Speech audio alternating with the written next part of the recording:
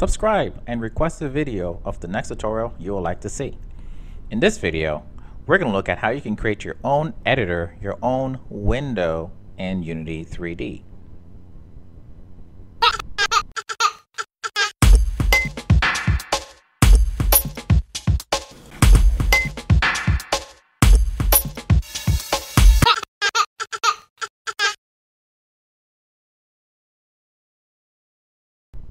Okay, and let's begin this tutorial. So we're going to create our own little editor and you can have it show up in here in this menu, the Windows menu, the game object menu, any one of those menu. It's going to be completely up to you where you want to show up and what you give it name and then we'll have the, the window pop up and we'll put content in the window. So let's begin by creating our first script. Um, I'll just name this custom window and I'll double click to open it up in Visual Studio Editor. This script won't be attached to any object so we can get rid of a couple of things. We'll get rid of the start and update function, a couple of those up at the top. What we really need is the using Unity editor. And also we don't need to inherit from MonoDevelop, but we will be inheriting from the editor window. Let's see if I can find that. There it is.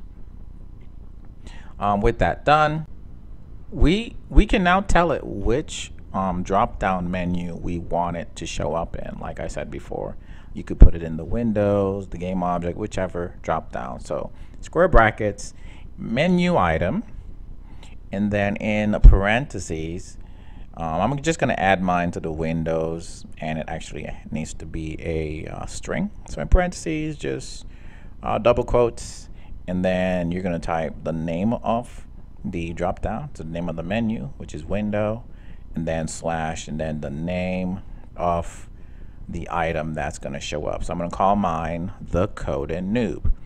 Um, fit with the YouTube channel, right? Um, next, you need to create your public static void. This is a public static void, and this function you can just call this the open custom window. Um, I believe it's important to name it this, to be honest with you, because this is going to, this is basically uh, almost like overriding a, a, function that already exists. So open custom window spelled just like mine.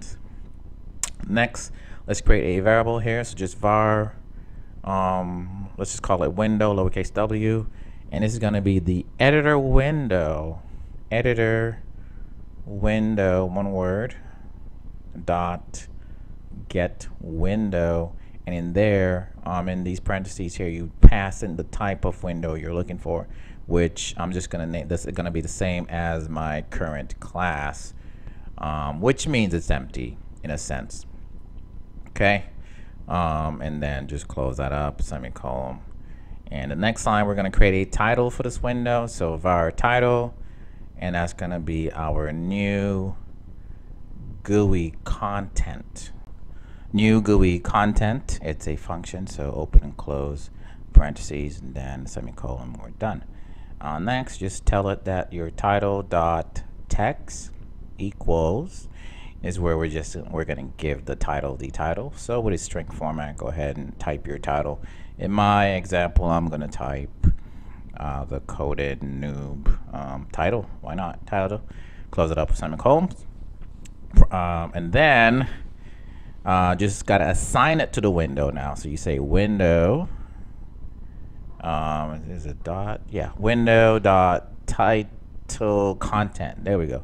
Title content equals the title um, that you just made. Easy peasy, lemon squeezy.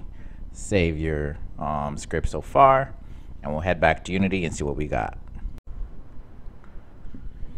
Now that we're back, uh, now we're back in Unity, you can see that your menu shows up there, and there's your title, and of course the window. You can drag it; it kind of respond to Unity like every other window. Now it is blank, so let's add some content to it.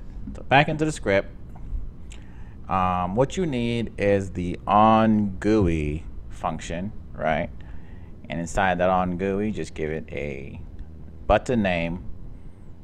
Um, let's see here. So it will be it'll be an if condition and then your button name and we'll just go ahead and print out a debug.log so when we press the button this should happen so I'll save that and let's go back to Unity and check it works all right so in here uh, we're just gonna go ahead and make it create an object for us and just to show you that you can do more than just print a, a log um, so we'll go ahead, we just create a new object. We call it uh, geo.